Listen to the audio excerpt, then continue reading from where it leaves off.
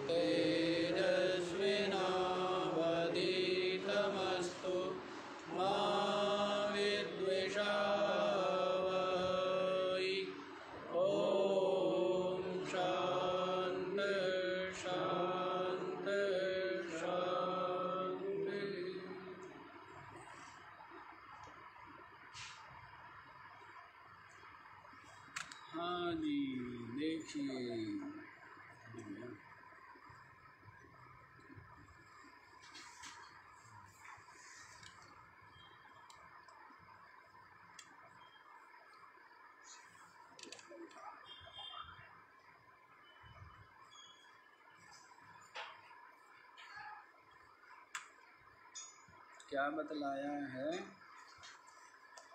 कि जो ब्रह्म है अपनी आत्मा, जाति, नीति, कुल गोत्र आदि, ये सब उसमें नहीं। नाम रूप गुण दोष से जो रहित है, देश काल विषय भी जिसमें नहीं। जो निष्कल, निरुपाधिक, जो चेतन ब्रह्म तत्व है, तत्वमसी, वह तू। ऐसा आत्मनि भावया अपने अंतकरण में भावना। क्या भावना करो? ये भावना की है कि मैं शरीर हूँ, मैं जीव हूँ। अब इसके स्थान पर क्या भावना करनी है? कि मैं चेतन हूँ, साक्षी हूँ, कूटस्थ हूँ, आत्मा हूँ, ब्रह्म। क्या भावना करें? ये भावना करनी चाहिए निरंतर।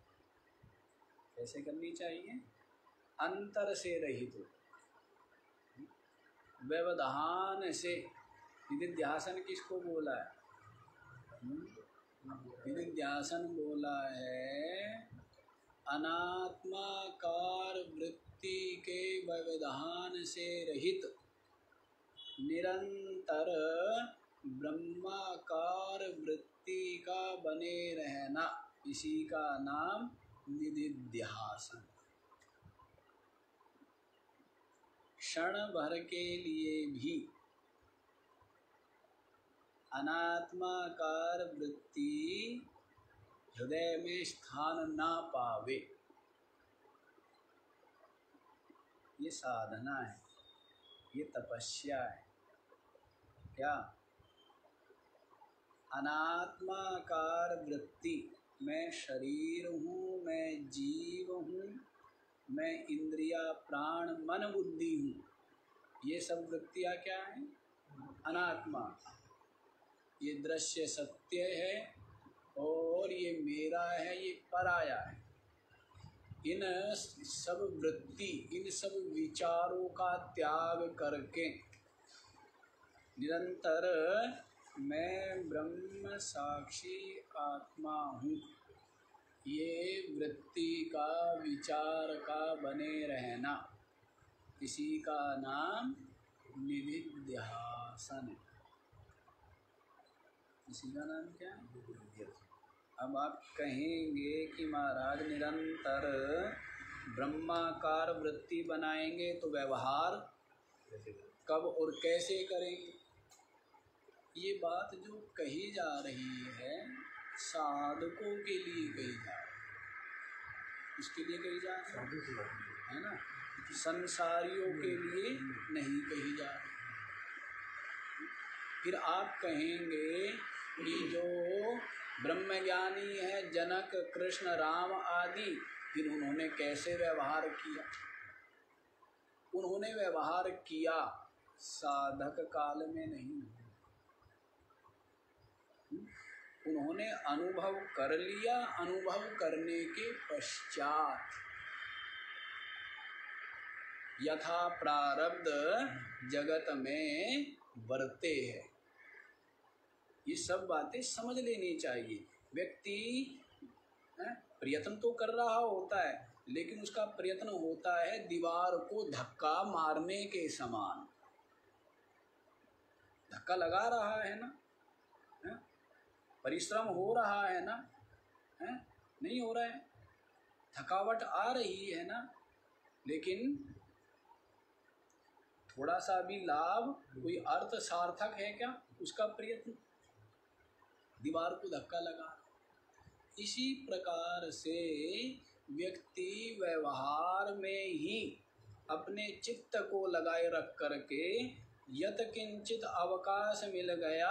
उतने समय में ब्रह्म चिंतन करके वो ब्रह्मानुभूति करना चाहता है, उसका प्रयत्न वैसा है, पहाड़ को धक्का समझ लेना चाहिए। व्यक्ति पता नहीं क्या क्या भ्रम पाले रहता है। साधक काल में, जैसे विद्यार्थी यदि व्यापार भी करेगा, यदि और कार्य भी करेगा तो वो विद्या ग्रहण नहीं कर पाएगा। अभी क्या करना है उसको केवल? यदि वो सैर सपाटा भी करे, हैं, और उसको कमाने का भी लालच हो जाए तो फिर उसका पढ़ पाना कठिन वैसे ही संसार के व्यवहार में लगे रहते हुए और उसमें ही सत्य और प्रीति रखते हुए यत किंचित समय ब्रह्म चिंतन करते हुए किसी को भी ब्रह्मानुभूति न तो अब से पूर्व हुई, न न अब हो सकती है, न आगे ही। साधक की बात चल रही।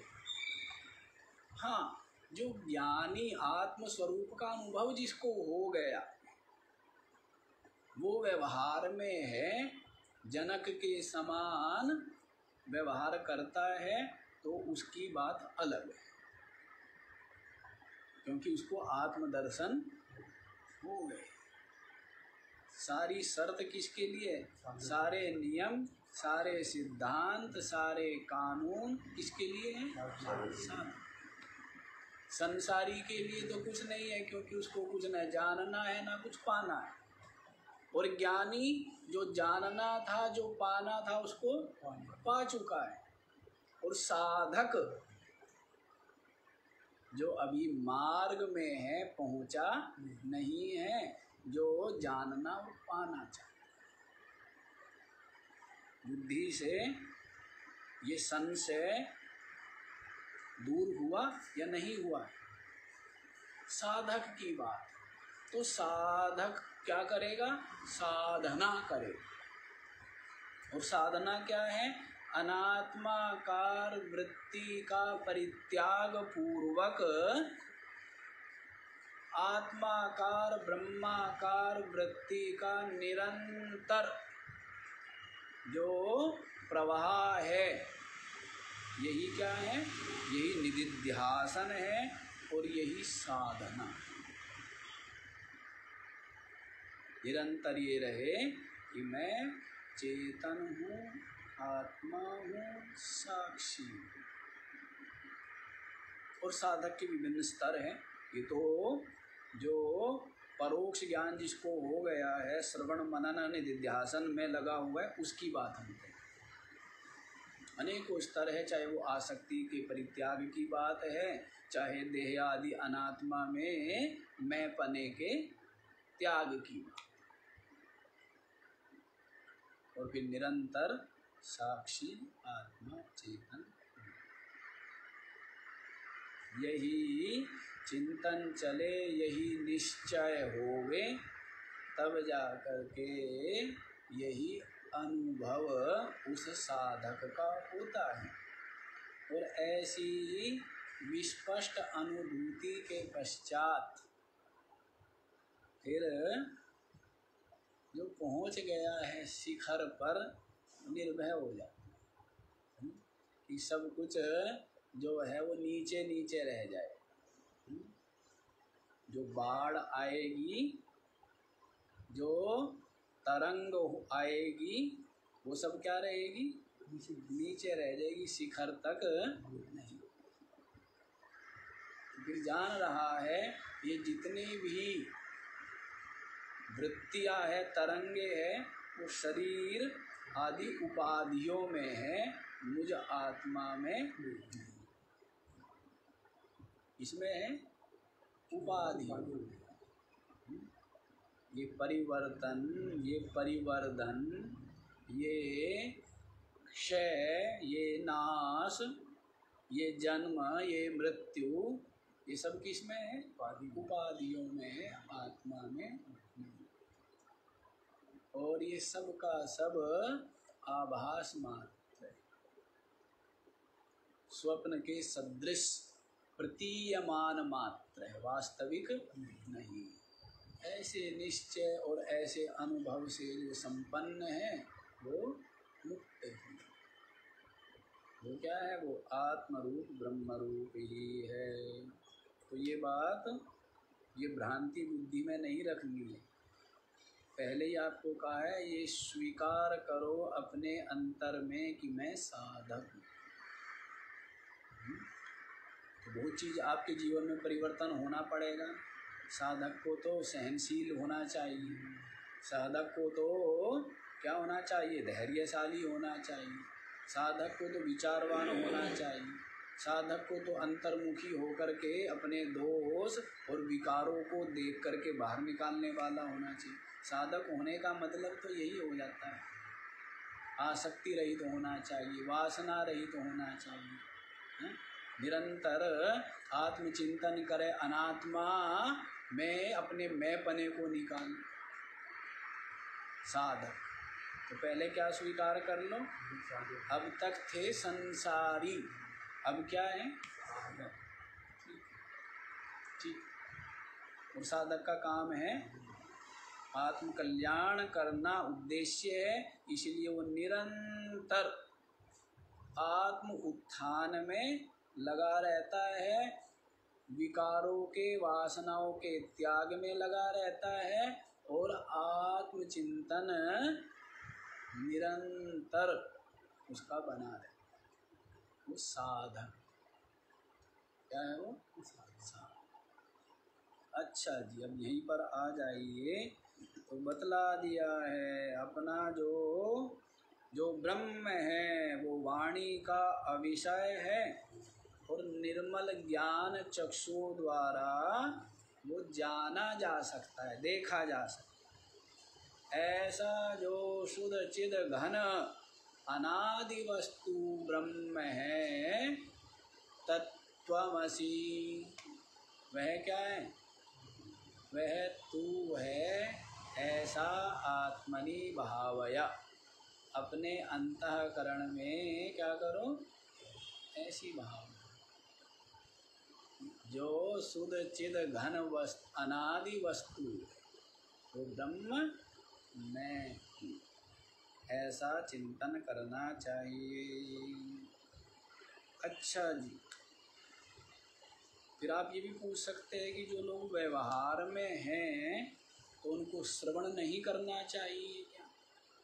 नहीं, श्रवण तो सभी कर सकते लेकिन उनको परोक्ष ज्ञान होगा। क्या होगा? जो ध्यान पूर्वक श्रवण करेंगे, समझेंगे, इसको धारण करेंगे, उनको क्या होगा? परोक्ष ज्ञान केवल होगा। और परोक्ष ज्ञान हो जाने से भी अनेकों भय से और शंकाओं से मुक्ति मिल जाएगी। जीवन में एक प्रकाश बना रहेगा, एक मार्ग दिखता रहेगा। तो वह पाप से बचकर, बुराइयों से बचकर, जीवन में व्यवहार करेगा और ये रहेगा कि जल्दी से जल्दी व्यवहारिक दायित्व पूरा हो और मैं क्या करूँ? अपनी आत्मा का अपरोक्ष अनुभव करूँ। समझ आया? जो व्यवहार में है, वो भी श्रवण करे, परोक्ष ज्ञान मात्र होगा। अपरोक्ष ज्ञान तो तब होगा जब व्यवहार से थोड़ा अलग हटके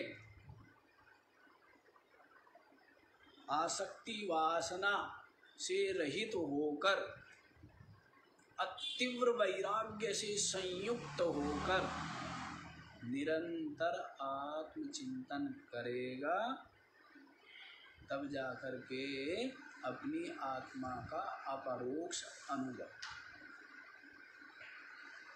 ठीक है? तो अब आप लोग दो सौ सत्तावनवा श्लोक देखिए। षड्भिरोर्मिभिरयोगी योगी हृद भावितं न करणैर्विभावितम् बुद्ध्यवेद्यमनवद्यभूतिया ब्रह्मतत्त्वमसि भावय आत्मनि। षड्भिः उर्मिभिः अयोगी। योगी हृद भावितम न कर्णैर्विभावितम बुद्धि अवेद्यम। अनवद्यभूति। यद ब्रह्मतत्त्वमसि भावय आत्मनि। क्या बोला है? षड भी उर्मी भी अयोगी। क्या बोला है? जो षड माने छः उर्मी माने जो तरंग। हम्म? षड उर्मिया जो है, उनसे जो अयोगी, जिसका योग नहीं। क्या? छह उर्मिया जिसका स्पर्श नहीं कर सकती। षड उर्मिया कौन कौन सी है? हाँ जी। यूँ ही कुछ का कुछ। षड उर्मी सड़ुर्मी वैसे कहते हैं सर्दी गर्मी भूख प्यास मान अपमान। इनको क्या बोलते हैं? सड़ उर्मी सर्दी गर्मी भूख प्यास और मान अपमान। कुछ लोग इसमें मान अपमान की जगह सुख दुख भी ले लेते हैं। हाँ? तो ये जो द्वंद्वात्मक है ये क्या है? द्वंद्वात्मक। जो द्वंद्वात्मक है सुख दुख तो फल है, है? सर्दी गर्मी का फल क्या है? सुख दुख। सुख दुख है। भूख प्यास का फल क्या है? सुख दुख। और मान अपमान का फल क्या है? सुख दुख। सुख दुख। तो सुख दुख तो फल हुए ना सबके ही फल है। समस्त जो द्वंद्व है उनके फल रूप क्या है? सुख दुख। सुख दुख है, है? तो ये षड उर्मिया है। तो ये षड उर्मियों के जो स्पर्श से रहित है षड उर्मिया जिसका स्पर्श नहीं कर सकता। सर्दी, गर्मी, भूख, प्यास आदि और मान, अपमान, ये सब उपाधि में रहते हैं। आत्मा में इनकी पहुँच नहीं सर्दी, गर्मी स्थूल शरीर में रहते हैं। भूख, प्यास प्राणों के धर्म हैं। और मान अपमान अंतकरण के धर्म है, अंतकरण अनुभव का हम्म? आत्मा लेकिन भ्रांति से कहता है मैं, मुझे सर्दी लगी हुई है, मुझे गर्मी लग रही है, मैं भूखा हूँ, मैं प्यासा हूँ मैं अपमानित हुआ। मैं सम्मानित हुआ। हम्म? जबकि सर्दी किसको लगी? शरीर गर्मी किसको लग रही है? भूख किसको लगी? प्राणों को। प्राणों को। प्यास किसको लगी? मान किसका हुआ? शरीर का। अब अपमान किसका हुआ? शरीर का हुआ लेकिन अनुभव कौन करता है? तो ये सब उपाधियों के ही विषय है। उपाधियों को ही स्पर्श करते हैं। मैं जो आत्मा है जो ब्रह्म है वो तो इसके स्पर्श से रहित उसको छू नहीं सकते। छह उर्मिया ब्रह्म को छू नहीं सकती। है ना? जिन्होंने सबको छुया हुआ है और छुआ हुआ क्या है? सबको जकड़ा हुआ है पकड़ा हुआ है। सारी उपाधियों को सारी उपाधियों को क्या किया हुआ है? बिल्कुल पकड़ा हुआ है इन रोगों ने इन उर्मियों ने। लेकिन जो मुझ ब्रह्म आत्मा का स्पर्श भी नहीं कर सकती, छू भी नहीं सकती। योगी हृदय भावितम योगी लोग जिसका अपने हृदय में भावना करते क्या करते हैं? योगी लोग जिस ब्रह्म का, परमात्मा का अपने हृदय में खोज करते हैं उसकी भावना करते ध्यान करते योगी लोग। हाँ, आया है ना? रामायण में आया है ना कि याभ्याम विना न पश्यन्ति। सिद्धा स्वांतस्थवीश्वर श्रद्धा और विश्वास के बिना योगी लोग भी हुँ? अपने हृदय में स्थित जो ईश्वर है, उसको नहीं देख पाए अपने हृदय में स्थित। तो यो संसारी जीव तो बाहर ढूंढते हैं। लेकिन जो योगी है, विचारवान है, वो कहाँ ढूंढते हैं? अपने हृदय में ही इसका ध्यान करते हैं।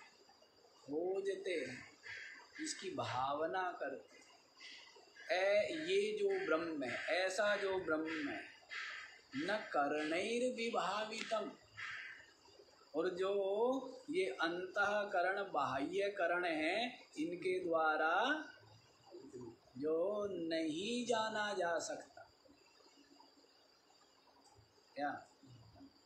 योगी लोग जिसको अपने हृदय में ध्यान करते हैं वह जो ब्रह्म है परमात्मा, न कर्णैर विभावितम जो आपके पास उपकरण है, चाहे वो बाह्य उपकरण है, चाहे अंत उपकरण है, अंतकरण है, इनके द्वारा न विभा, न भा, न विभावितम।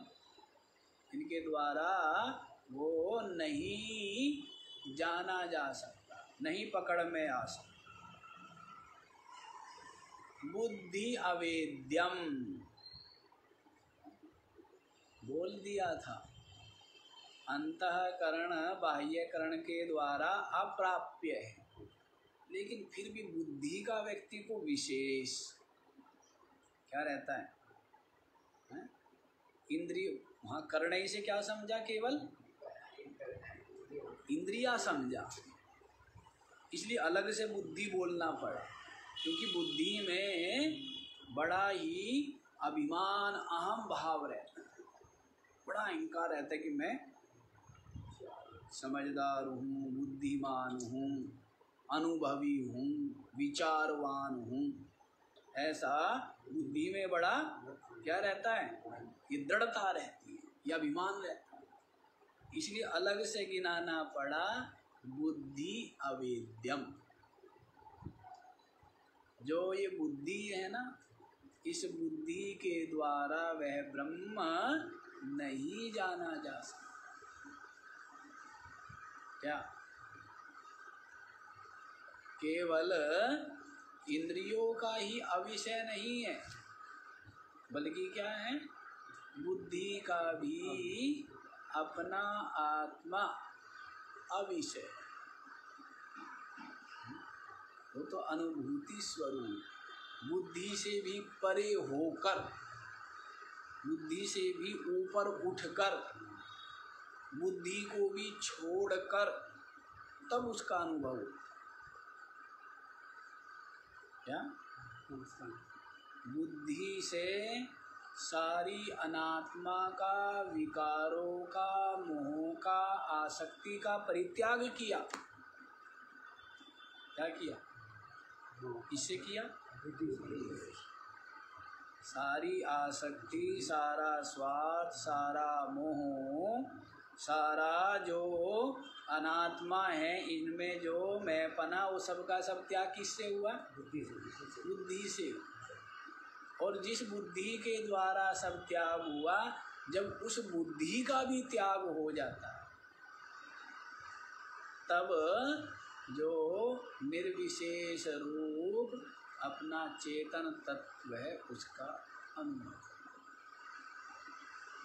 और निरंतर जो अनुभूति स्वरूप है वैसे निरंतर क्या है? है?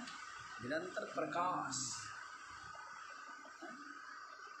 जैसे सूर्य भले ही बादलों से ढक गया है लेकिन प्रकाश किसका है? सूर्य है? सूर्य नहीं दिख रहा है बादल दिख रहे ये भी किसके प्रकाश में। बादल दिख रहे हैं बादलों ने सूर्य ढक लिया है ये सब सूर्य के प्रकाश में दिख रहा है। और ये मेरा हाथ है ये उंगली है ये नाक है, ये पैर है, ये भी सब सूर्य के सूर्य के प्रकाश तो वैसे ही सबका सब इंद्रियों के द्वारा मन बुद्धि के द्वारा, शरीर आदि के द्वारा, प्राणों के द्वारा जो कुछ भी व्यवहार हो रहा है तो सब अपनी जो आत्मा है, मैं। उसकी ही सत्ता से हूँ प्रकाश किसका है? आत्मा चेतन लेकिन अभी दृष्टि नहीं पड़ी है, समझ नहीं आता। जब अनुभव हो तब ये होता है कि बताइए, ये सब किससे चल रहे हैं? जैसे दिख तो रहा है कि गाड़ी दौड़ रही है टायर दौड़ रहे हैं हैं? लेकिन दौड़ किससे रहे हैं? इंजन से। किससे दौड़ रहे हैं? और इंजन नहीं दिख रहा। इंजन दिख रहा है? दौड़ता हुआ कौन दिख रहा है। गाड़ी टायर आदि। ठीक है? वैसे ही ये सब दौड़ते हुए चलते हुए दिख रहे हैं लेकिन जिसके होने से ये इनमें चलने का सामर्थ्य है। वो नहीं अब उसको देख लिया एक बार तो फिर ये रहेगा कि पता है ना अभी। ये दौड़ते हुए दिख रहे हैं, लेकिन किसकी सत्ता से? किसकी उपस्थिति से? मुझे आत्मा साक्षी प्राप्त। तो वो जबकि क्या है? अपरोक्ष है। निरंतर अपरोक्ष है, लेकिन बुद्धि की स्थूलता, मलिनता, बहिर्मुखता के कारण से अनुभव में बुद्धि की मलिनता छूटे, स्थूलता छूटे, अज्ञान छूटे और बुद्धि छूटे। फिर कोई कांटे, कांटा लगा है, दूसरे कांटे से निकाल देते हैं, उसको भी छोड़ देते तो वैसी बुद्धि में सब घुस गए, बुद्धि से ही उनको निकाला। है? उस आसक्ति विकारों को और उस अज्ञान को और फिर इस बुद्धि को भी तब बुद्धि से परे जो चिन्मात्र चेतन तत्व है, वह साक्षी ये अनुभव में आता ये क्या होता है? अनुभव। इसलिए बुद्धि अवेद्यम। बुद्धि के द्वारा नहीं जाना जा सकता। बुद्धि का काम कहाँ तक है वो आपको बतला दिया। वासनाओं के त्याग, आसक्ति के त्याग, जगत में जो सत्यपना है इसके त्याग, और जो अनात्मा में मैं पना है उसके त्याग, और इन सब का त्याग हो करके जब बुद्धि का भी त्याग हो जाए, तब आप विशुद्ध चिन्मात्रता का अनुभव समझ आ गया। इसीलिए कह दिया बुद्धि अवेद्यम। और ये बातें ही आपको क्या करनी है? बुद्धि में बैठानी है। ज़्यादा लंबी चौड़ी नहीं। यहाँ हम आसक्ति का वासनाओं का त्याग करें इच्छा आशा तृष्णा इनका त्याग करें। और अनात्मा में जो सत्यपना और मैं पना है उसका त्याग करें। और ये बुद्धि का भी त्याग करें। और फिर जो चिन्ह मात्र अनुभव होता है, निरंतर जो साक्षी जागृत रूप, जो आत्मा है, वो मैं वो क्या है? तो मैं हूँ इस प्रकार से अनुभव। तो इस, इतना ही साधक को बुद्धि में रखना चाहिए?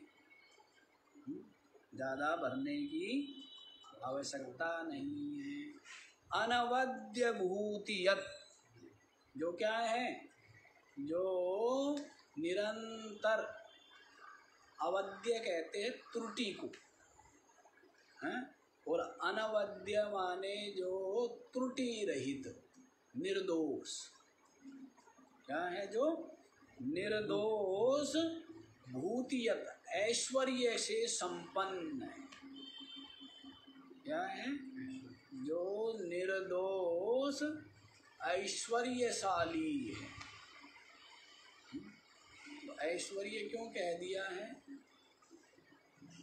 तो ये जो आपकी बुद्धि जिसको ऐश्वर्य मानते, उस ऐश्वर्य की बात नहीं चल रही है। इन साधन संपन्नता, इन आराम की वस्तुएँ इनको ऐश्वर्य मान के नहीं कह रहे कि सब कुछ तो उसमें ही कल्पित है। आपके हीरे मोती, हैं? सब कुछ किसमें कल्पित है? जब ये जगत दृश्य, जब ये मिट्टी पत्थर किसमें कल्पित है?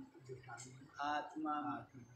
ये आकाश, वायु, अग्नि, जल, पृथ्वी आदि सब किसमें परिकल्पित बाकी और भी जो सुंदर सुंदर वस्तुएँ है विभूतियाँ है वो भी किसमें कल्पित है? ना? और ये सबके सब जो विभूतियाँ है ऐश्वर्य है ये तो सबके सब नष्ट होने वाले हैं। लेकिन उनका आधार तो चेतन ही है ना ब्रह्म ही है उसमें ही परिकल्पित अब वो जो सर्प है बहुत सुंदर है बड़ा ही काला है, बड़ी सुंदर आकृति है और वो भगवान शंकर के गले का सांप है, लेकिन है तो वो रस्सी में कल्पित ही। भली वो क्या है, शंकर जी के गले में सुशोभित तो होता है, लेकिन जो कल्पित सर्प है, वो तो कल्पित ही है, अधिष्ठान ही सत्य वैसे जितना भी ये सब ऐश्वर्य है, ये तो मुझ आत्मा में क्या है? जब संपूर्ण जगत सृष्टि दृश्य कल्पित ही। तो अधिष्ठान कौन हुआ? ब्रह्म ही हुआ।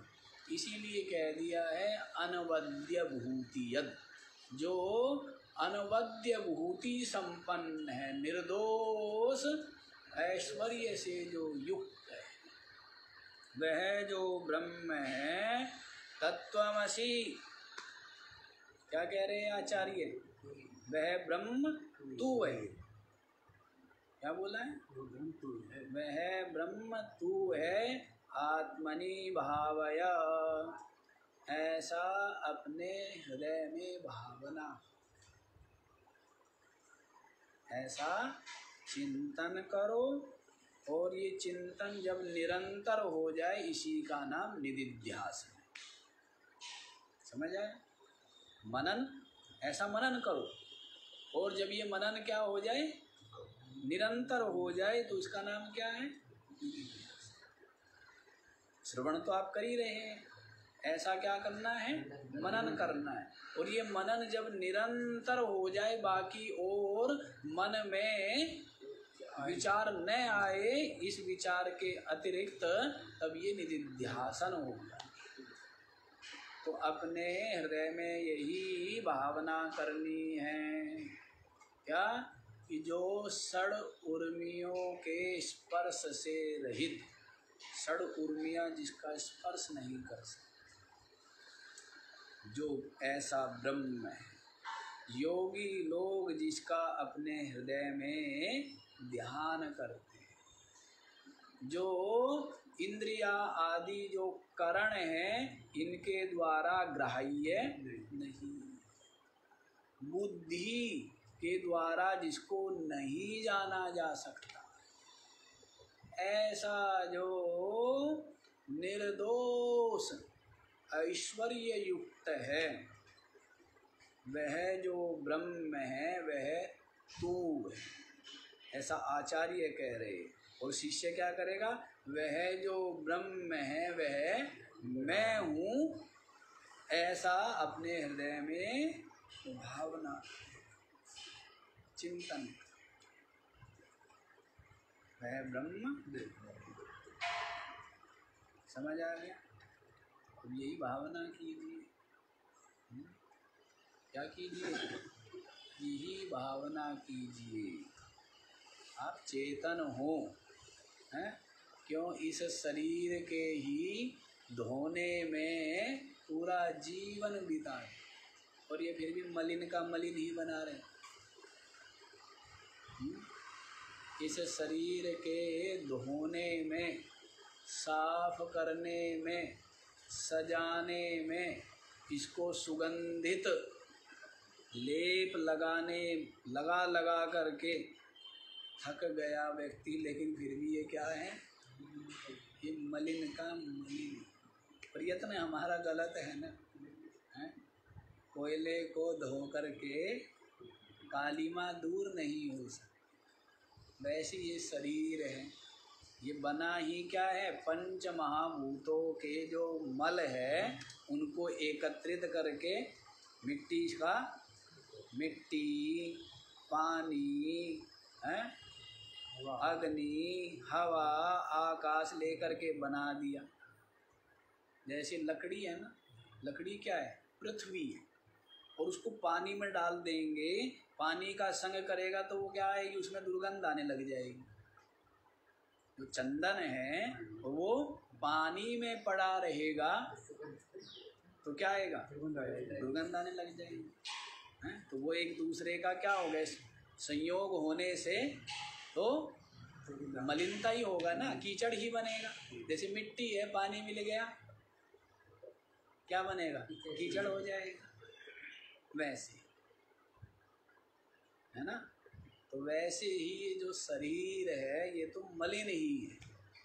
और इसको धोते धोते, कहते हैं ना कि चार धाम सब तीरथ नहाकर क्या धोवे तू? साफ़ है, बता। बिन समझे पछतावेगा हम्म? क्या बोला है? हाँ, चार धाम सब तीरथ ना कर उससे ऊपर की पंक्ति याद नहीं आती। चार धाम सब तीरथ नहाकर क्या धोवे तू साफ़ है बिन समझे पचता सारे तीरथ नहाओ तीरथ क्या हो जाएगा? पाप धुल जाएँगे। पाप तेरे में है ही नहीं। पाप क्या है? पाप तेरे में है ही नहीं। पाप तेरे में आ ही नहीं सकते। हम्म? क्या धोवे तू साफ़ है। तू जो है ना, तू माने आत्मा, शरीर नहीं। ठीक है ना? शरीर नहीं। और ये धोना कहाँ तक चलता है? उपाधियों को धोना है। कभी शरीर को धो, इंद्रियों को धो, और अपने अंतःकरण को धो, सदविचारों से, सतसंगति से। हैं? तीर्थ में भी। वे क्या धुलेंगे? बुद्धि के ही जो मलिनता है जो विकार है जो आसक्ति है वो धुलेगी ना? है? आत्मा तो क्या है, है? अत्यंत निर्मल है। स्वच्छ ही है। तो तू साफ़ है बिन समझे पछताएगा। जब तक समझेगा नहीं कितना ही धो लेना फिर भी क्या रहेगा? पापी ही रहेगा। है? क्या रहेगा? इतना व्यक्ति यज्ञ करने चला है। यज्ञ बड़ा शुभ कर्म है बड़ा पुण्य होगा लेकिन यज्ञ करने में पाप कितना होता है? यज्ञ करने में पाप कितना होता है? कितना पाप होता है? लकड़ियों में भी जीव जंतु सामग्रियों में भी। हैं तो कितने ही? कोई भी ऐसा कर्म नहीं जो निर्दोष कर्म में तो क्या है? पुण्य के साथ साथ पाप जुड़ा ही। जो भी आप कर्म करते हैं, है ना? और कर्म ना करें तो भी पाप है। तो भी पाप है ना? कर्म का परित्याग कर दे अज्ञानी व्यक्ति। तो कर्तव्य कर्म को नहीं करेगा तो क्या है? उसको तो और ज़्यादा पाप लगेगा। है? तो पाप तो पाप पुण्य से कहाँ बच पाएगा? हाँ जो समझ जाएगा। जो समझ गया है कि ये पाप पुण्य मेरा स्पर्श नहीं कर क्योंकि मैं करता भोगता नहीं, मैं आत्मा साक्षी। समझ आ रहा है? तो पाप पुण्य का मेरे को स्पर्श नहीं हो फिर आप सोच सकते हैं कि जी, फिर तो वो पाप भी कर दे, कैसे कर सकता है? जिसका ऐसा चिंतन हो गया, ऐसा निश्चय तक पहुँच गया है, उससे पूर्व ही सात्विकता, निर्मलता पहले ही आ चुकी है। अत्यंत मलिन कर्म, मलिन आचरण, मलिन विचार वाला था। वो वहाँ से चला है आत्म कल्याण के लिए। तो उसमें फिर क्या आ गया है? पूरी सात्विकता, निर्मलता, निष्पाप हो गया है सत्कर्म के द्वारा, सदविचार के द्वारा। उसके पश्चात ही आसक्ति का त्याग होकर, आत्मचिंतन होकर आत्मानुभूति होगी। तो मलिनता तो बहुत पीछे छूट चुकी है। अब यत किंचित संस्कार होंगे भी तो मलिनता के होंगे सात्विकता के होंगे। इसलिए जो साधक या ज्ञानी है उसके द्वारा जो यत किंचित व्यवहार में कर्म होगा वो सात्विक ही हो सकता है मलिन। समझ आया? क्योंकि वो मलिन वासना तो छूटे हुए बहुत समय हो गया। उसकी तो विस्मृति हो गई है। क्या हो गया? क्योंकि मलिन वासना के मध्य में बहुत लंबा अंतराल, सात्विक कर्म, सात्विक विचार, सात्विक चिंतन का हुआ है। बहुत लंबा समय, और उसके पश्चात तब ज्ञान निष्ठा हुई। तो मलिनता तो कभी की मिट चुकी है, उसकी तो निशान भी नहीं रह गया। उसका तो गंध भी नहीं रह गई है। तो ये संभव है क्या? कि ज्ञानी या साधक मलिन कर्म कर सके, ये संभव है? ये संभव नहीं और यदि उसकी प्रवृत्ति बनी हुई है इसका मतलब वो अपरोक्ष अनुभूति तो छोड़ो। आसक्ति ही नहीं छूटी है। क्या?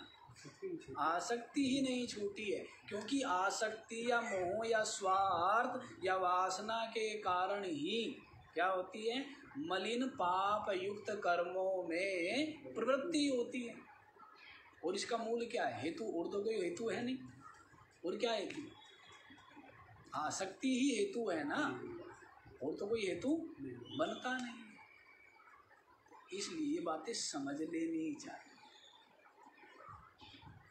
ये बातें सब समझ करके और अपने जीवन को, विचारों को, कर्मों को निर्मल बनाते बनाते बनाते बनाते आत्मचिंतन, आत्म उत्थान, आत्मानुभूति। के लिए बढ़ते रहना चाहिए। ठीक है? मलिनता का तो कभी का परित्याग हो चुका होता है साधक के जीवन से। उसके कर्म, उसके वाणी और उसके विचार, उसके आचरण से सर्वथा परित्याग हो। इस बात को समझ लेना तो ये स्पष्ट हो गया आपको? क्या बुद्धि के द्वारा नहीं जाना जा सकता? और जो त्रुटि रहित, क्या है? दोष रहित ऐश्वर्य से युक्त है। वह ब्रह्म मैं हूँ, आत्मनि भावया। अपने हृदय में ये भावना करो निरंतर। वह ब्रह्म चेतन, मैं निरंतर यही मनन, यही निधिध्यासन हो के और यही आपकी अनुभूति हो। यही क्या होगी? यही आपका अनुभव भी होगा। आगे वाला श्लोक भी आप लोग देख लीजिए। भ्रांते कल्पित जगत कलाश्रयम् स्वाश्रयं च सदसद्विलक्षणम् निष्कलं निरूपा निरूपमानमृद्धिमान्। ब्रह्मतत्त्वमसि भावया आत्मनि। भ्रांति कल्पित जगत कलाश्रयम स्वाश्रयम च सदसद्विलक्षणम निष्कलम निरूपमानम रिद्धिमद। ब्रह्म। तत्वमसि भावया आत्मनि। भ्रांति कल्पित जगत कलाश्रय भ्रांति से कल्पित जगत रूप ये जो कला है, इसका जो आश्रय जो कल्पना हुई है, वो किसी आश्रय में ही हुई है ना? किसी अधिष्ठान में ही होती है। तो जगत जो भ्रांति है, भ्रांति से कल्पित है, जगत क्या है? भ्रांति से कल्पित है, ऐसा जो कला, है? कलना, संकल्प या जो घटना, बढ़ना चलता रहता है। निरंतर क्या चलता रहता है? परिवर्तन। निरंतर परिवर्तन होता है। तो निरंतर परिवर, परिवर्तन रूप ये जो जगत है, ये जगत क्या है? भ्रांति से कल सत्य और किसमें कल्पित है? वो जो आश्रय है, वह ब्रह्म। ब्रह्म रूप अधिष्ठान में ये संपूर्ण परिवर्तनशील जगत भ्रांति से कल्पित। यथार्थ नहीं। सत्य नहीं। इसका अधिष्ठान वही सत्य है। बारंबार बतलाया है, दीवार पर चित्र बना दिया है। शेर है, सांप है, वृक्ष है, पहाड़ है, लेकिन उन सब का आश्रय क्या है? दीवार है ना? दीवार पर चित्रकार की ये क्या है? शेर कल्पना है, पहाड़ कल्पना है और सर्प आदि जो भी बनाया सबका सब कल्पना दीवार हटा दे तो शेर सांप आप ले जाओ, है? तो वो केवल कल्पना है। अधिष्ठान, और दिख क्या रहा है? दीवार नहीं दिखती है, दिखता क्या है? शेर दिखता क्या है? पहाड़ दिखता क्या है? हैं? जल का बहता हुआ झरना। देखिए आपने, दिख वो रहा है, लेकिन जिसके ऊपर दिख रहा है वो, और जबकि देखा जाए तो वही दिख रहा है। हैं? शेर में भी क्या है? दीवार। सर्प में भी क्या है? दीवार। पहाड़ में क्या है? दीवार। जो नदी बह रही है पानी है? और उसके जो तट है, वो सब सब दीवार ही है। दीख दीवार नहीं रही है, सब आकार दिख रहे हैं। और वास्तव में उन आकारों में भी दिख कौन रहा है? दीवार ही दिख रही है ना? वैसे ही ये जो जगत है, ये सारा का सारा रज्जु में सर्प की भांति प्रतीत हो रहा है, कल्पित ही भ्रांत। वैसे ही अधिष्ठान ब्रह्म में ये संपूर्ण दृश्य जगत भ्रांति से स्वाश्रयम च। और वह जैसे इस दृश्य का आश्रय, कौन? ब्रह्म। उस ब्रह्म का भी कोई आश्रय होगा? ऐसी आशंका हो कि वह ब्रह्म किसके आश्रित है? तो कहते स्वाश्रयम। अपने आश्रय स्वयं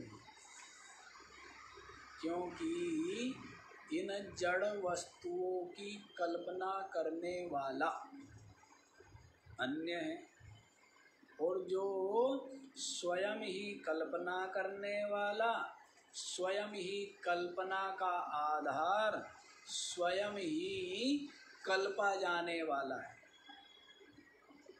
वह क्या है? चेतन है। चेतन है ना? हम्म? पूछा है ना मांडुक्य कारिका में कि सृष्टि कैसे हुई? कि दृश्य कैसे दिखता है? मतलब है ना?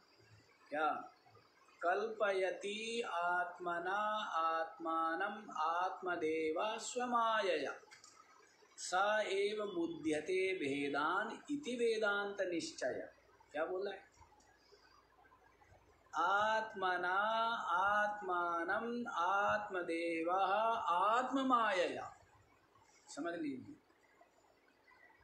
अपने आप को, अपने द्वारा आत्मदेव अपनी माया से कलपता है।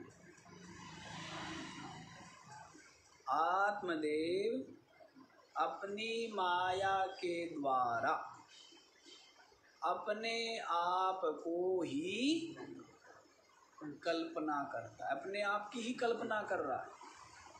ये सब कुछ बना हुआ भी स्वयं ही है।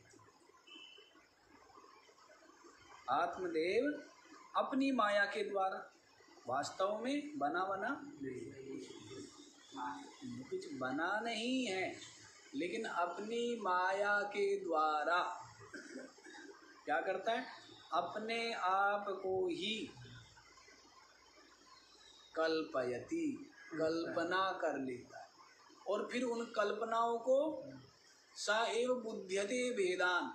जो शेर, सांप, वृक्ष, पहाड़, नदी, पृथ्वी, सूर्य, चंद्रमा आदि के रूपों में अपने आप ही बन गया है। उनको जानता और देखने वाला भी स्वयं ही।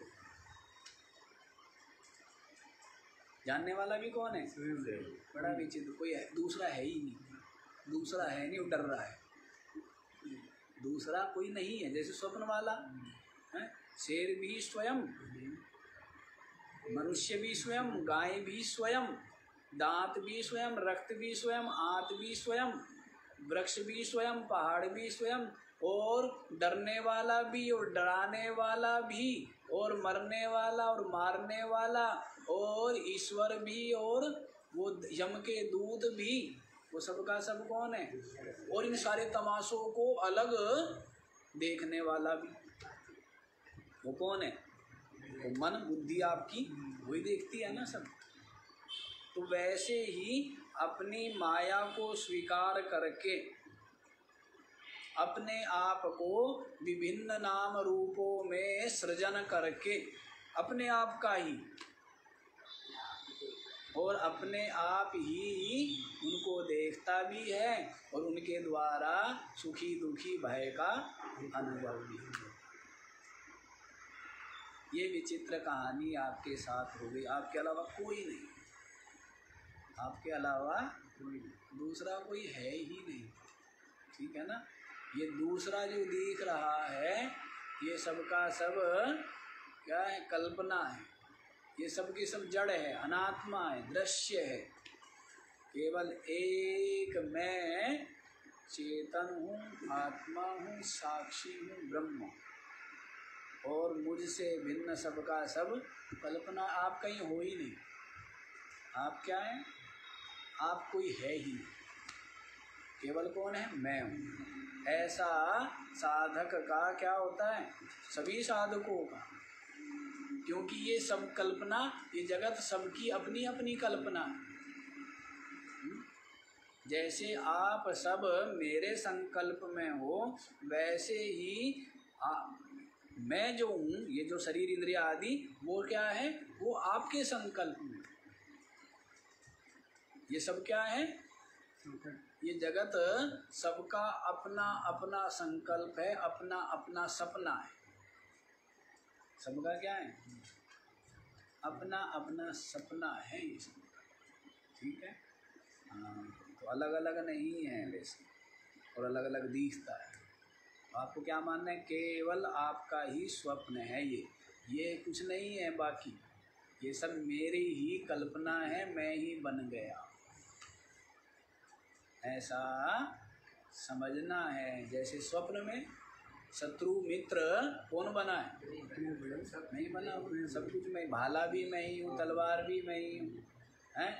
घोड़ा भी मैं ही हूँ, रथ भी मैं ही हूँ, पेड़ भी मैं ही हूँ, पत्थर भी, नदी भी सब कौन है सब नहीं है। वैसे ही इस जागृत स्वप्न में भी समझना चाहिए। अच्छा जी वह जो ब्रह्म है संपूर्ण कल्पित भ्रांति से कल्पित जगत का आश्रय है और स्वयं का वह आश्रय ही उसका कोई अन्य आश्रय नहीं सद असद विलक्षणम सत और असत दोनों से वो विलक्षण है, भिन्न है, अलग है।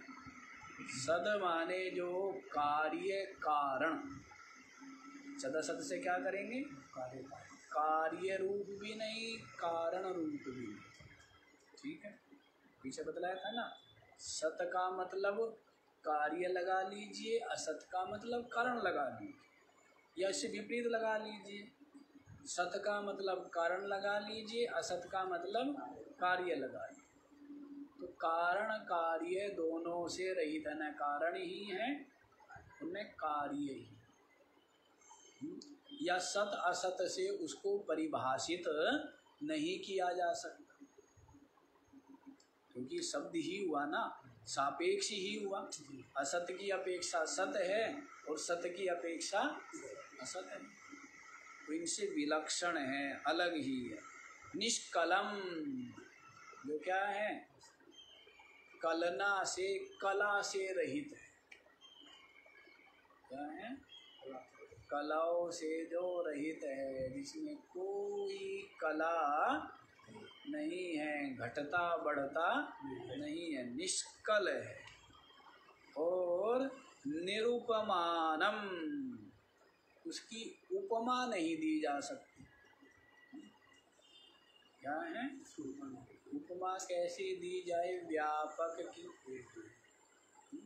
व्यापक जो है एक जो है अद्वितीय जो है केवल जो है उपमा तो तब दी जाए जब कोई दूसरा हो। है? कहते ना कि आप उनके समान बुद्धिमान हैं क्योंकि आप क्या है? अलग अलग है ना? आप अलग हो, वह अलग है। इसलिए क्या दी जाएगी कि आप उनके समान बुद्धिमान। जब दूसरा है ही नहीं, जो अद्वितीय तत्व है तो उसकी उपमा नहीं दी जा सकती। उससे भिन्न जो कुछ है, सबका सब कल्पित। कोई उपमा नहीं दी जा सकती। और दूसरा यदि खड़ा हो जाएगा तो क्या हो जाएगी? अद्वैत की हानि हो जाएगी और ब्रह्म की व्यापकता की हानि हो जाएगी, ब्रह्म परिचिन्न हो जाएगा। ब्रह्म क्या हो जाएगा? खंडित तो हो गया ना? जो अखंड है, क्योंकि एक है, और फिर दो होने से क्या हो जाएगा? खंडित। इसलिए निष्कलम, निरूपमानम उपमा नहीं दी जा सकती। और रिद्धिमद समस्त जो ऐश्वर्य है, ऐसा ऐश्वर्यशाली जैसे सोना है ना, सारे आभूषण किसमें हैं? सारी मूर्तियाँ किसमें हैं? पत्थर में। इसी प्रकार से। ये सारी की सारा ऐश्वर्य जगत रूप ऐश्वर्य किसमें कल्पित है? किसमें अध्यस्त है? समझ आए सर्प, माला, भूछिद्र, जलधारा, दंड आदि सब किसमें कल्पित हैं? किसमें अध्यस्त हैं? किसमें भास रहे हैं? इसी प्रकार से ये जगत का जो बड़ा ही प्रकाश, बड़ा ही ऐश्वर्य है, वो किसमें कल्पित है? किसमें अध्यस्त है? ब्रह्म में ही है ना? इसीलिए उसको क्या कह देंगे? रिद्धिमद। परम ऐश्वर्य से जो युक्त है। सब उसमें ही अध्यस्त है, कल्पित है, उसमें भास रहे यदि दृष्टि न होवे तो सर्व की जलधारा की भू छिद्र की, माला की, दंड की कल्पना हो सकती है क्या? वो भाषेंगे भी क्या? वो भाषेंगे ही नहीं। वैसे ही अधिष्ठान ब्रह्म में ही ये जगत और ये संपूर्ण जो सूर्य, चंद्रमा आदि, इनकी जो ज्योति, प्रकाश है, वो उसमें ही भाष भास इसलिए वो क्या हो गया? इन ज्योतियों का भी ज्योति। इन ज्योतियों का भी ज्योति हुआ ना? ये तो जड़ है, अपनी ज्योति को नहीं जानते। इनमें ज्योति किसकी है? मेरी है। और इस ज्योति को जानने वाला भी कौन है? है ना? क्योंकि मेरे में ही सब कल्पित है तो जहाँ पर भी जो प्रकाश है, या प्रकाश की न्यूनता है या प्रकाश की बिल्कुल ही नहीं है, वो सब का सब मेरे में ही कल्पित है। अच्छा भी, बुरा भी। दिन भी और रात भी। काला भी और गोरा भी। प्रकाश भी और अंधकार भी।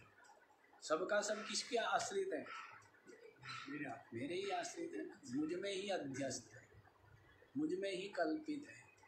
मुझमें ही भास रहे मुझमें मेरे से उत्पन्न होकर के क्या है? भास इसलिए रिद्धि मद कह दिया है, ऐसा जो ब्रह्म है, तत्वमसी आत्मनि भावया वह ब्रह्म तू है ऐसा अपने हृदय में भावना। संपूर्ण कल भ्रांति से कल्पित जगत का जो आश्रय ब्रह्म है, और जो स्वयं अपने आप का आश्रय है, सद असद से जो विलक्षण है, भिन्न है, जो निष्कल है, जिसकी उपमा नहीं दी जा सकती, ऐसा जो परम तेजस्वी, जो ब्रह्म है तत्वमसी आत्मनि भावया। वह तू है ऐसी अपने हृदय में। ठीक है। अब किसको कह रहे हैं ये? वो जो सुनते सुनते यहाँ तक आ गया है, उसको कह रहे अर्थात जो ये समझ गया है कि अनात्मा क्या है? क्योंकि अनात्मा को अनात्म रूप से समझना आत्मा के समझने से पहले आवश्यक है। नहीं तो अनात्मा को ही आत्मा माने हुए हैं। तो अनात्मा को अनात्मा विस्पष्ट रूप से जानना आवश्यक है, उसके पश्चात जो शेष रह जाता है, चेतन साक्षी, वह आत्मा है और वह आत्मा ब्रह्म रूप है और समस्त भेद कल्पनाओं का जो आश्रय है, सत असत से रहित है। वह जो ब्रह्म है, वह तू है आत्मनि। ऐसा अपने हृदय में बाकी का विचार हम लोग कल करेंगे तो पूर्णमदे